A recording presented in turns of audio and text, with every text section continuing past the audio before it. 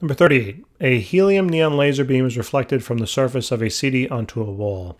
The brightest spot is the reflected beam at an angle equal to the angle of incidence. However, fringes are also observed. If the wall is 1.5 meters from the CD and the first fringe is 0.6 meters from the central maximum, what is the spacing of grooves on the CD?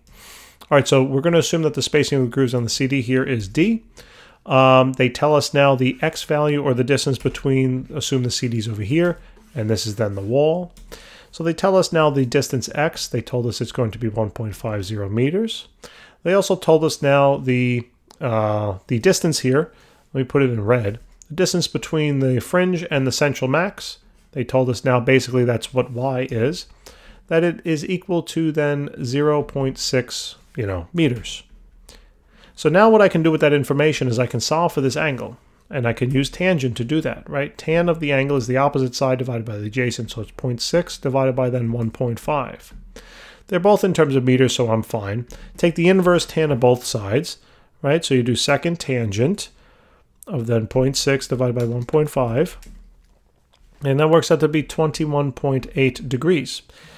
Now that angle helps us now use the constructive formula here uh, to then calculate the D, all right, because that's what they're asking for, the spacing of the grooves.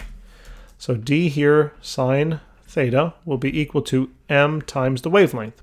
So to find D, just simply divide out sine of theta from both sides. Look at how easy that is. Bada bing, bada boom. There you go. Clean it up a little bit. And now all we need to now do is plug in the numbers. So it turns out that since this is the first fringe, m is 1.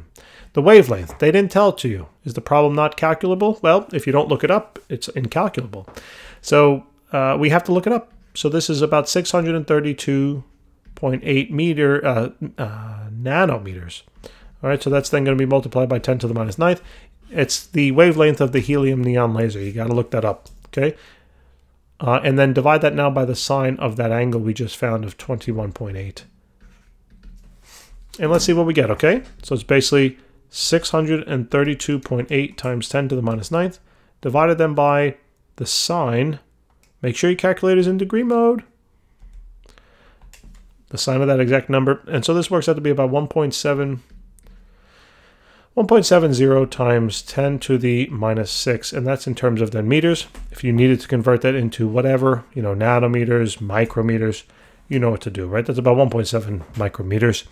Guys, thanks for tuning in. I appreciate it. I really do hope this helps. If it does, give us a hand. Subscribe, like, maybe even tell some of your classmates. We got a bunch of other subjects out there too. We'd love to help you out in your other class as well. If you're taking chem or if you're taking pre-calculus, we're also going to have a lot of other stuff coming out in the future too. Um, so check out some of those videos. All right, we solve specific problems. Even if you're not using, let's say, the OpenStax books, go and download them. Go to the website, openstax.com. Download them for free. They're great. And then what you can do, sift through the book and well, not the whole thing, but go to the go to the go to the table of contents, find the chapter you're working on, look at the questions and find one that's specific that mimics the problem you might have. And then watch our video. I guarantee if you watch it, you'll know you'll know how to solve the problem you have. All right? We'll see you soon. Take care.